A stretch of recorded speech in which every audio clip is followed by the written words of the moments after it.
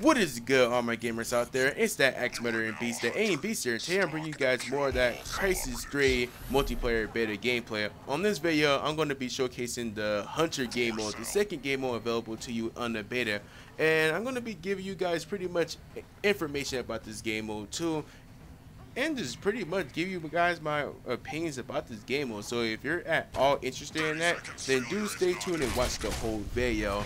Now, guys, Hunter is a game mode that they've been kind of showcasing with their Crysis 3 trailers and stuff. You see the guy with the bow and stuff like that. And now they, I, I gotta say that they kind of tried to hype this game mode up, and I say it's, it is a pretty interesting game mode. Now, this game mode is a round-based game mode, so now expect to be playing this for you know, quite some time. It's five rounds, so it can go quick or slow just really depends on how the team is playing, but it is five round base. Now you have a total of 12 players on this game mode, and it, that could be more for PC because I believe PC has a higher player count, but for consoles it's 12 players. Now 10 of those players are going to be the cell surgers that you see me using right now. These are pretty much the bare bones guys, and then you have the hunters there are the guys with the nano suits that you know can do all the cloaking stuff and the super jump. You have all the those are the hunters. Now as a cell operative, guys, the only objective that you have on this game mode is to stay alive because you guys are bare bones. You don't have those nano suits and stuff, so you feel all feeble or weak compared to the hunters. Now you have to pretty much wait for your pickup. Now this is what um, this, the base of this game mode is. Like you're kind of waiting for somebody to come pick you up and get you out of here. So you have to wait a minute. And, I believe it's a minute and 60 seconds or a minute and 59 seconds. It's one of the two. I mean, no really no big difference, but pretty much you have to wait that long just to um, win the game or with the cell soldiers. Now, the longer you survive, for every few seconds you get more points added. So you can be somebody that's not really getting too many kills, can but can still be like somewhere in second or third place if you're just staying alive long enough.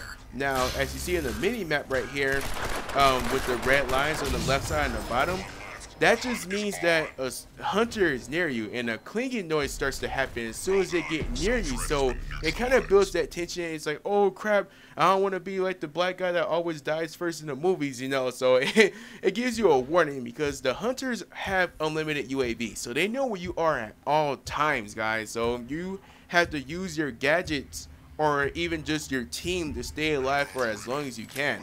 Now, you guys are watching some Hunter gameplay, and by far, you're going to have the most fun as a Hunter because if you're used to the regular multiplayer of Crysis, you know how the nano suit is. You get to jump freaking crazy and all sorts of stuff. Well, here, guys, you have infinite cloaking.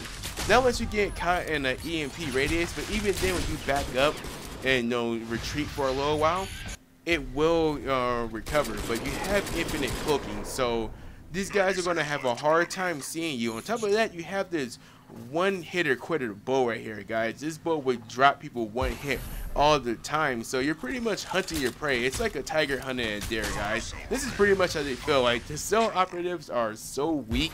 it feels like compared to the guys with the nano suits, it's just really crazy. So you have a limited UAV as I said earlier, so you always know where these guys are at at all times. So this is pretty much where the fun comes in because you get to hunt people down.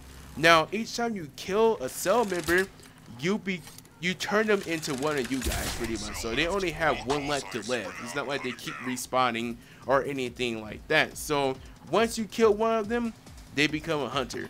So it's pretty damn cool. I like using the hunter.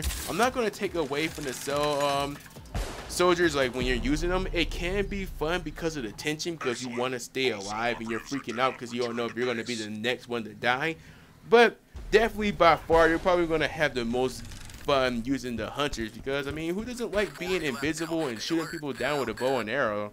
I mean it's it's crazy. So all in all guys I can say this game mode can be fun, but it's not something I can see myself playing all hardcore. Maybe it's one of those game modes where if you just want to relax and not take things way too seriously, you can come play it. Now you do have um, the scores, you know, whoever has a higher score is going to be in first place. But I don't see this game mode being that competitive. It's just something that you want to play just to you know get away from the competitive scene for a little while and just to have fun. But anyways, guys, if you enjoyed this video, do leave a thumbs up. It always does help. And if you're a new viewer, do subscribe for some more Crysis 3 beta gameplay and also some A and B dopeness. I'll be talking to you guys later. Peace.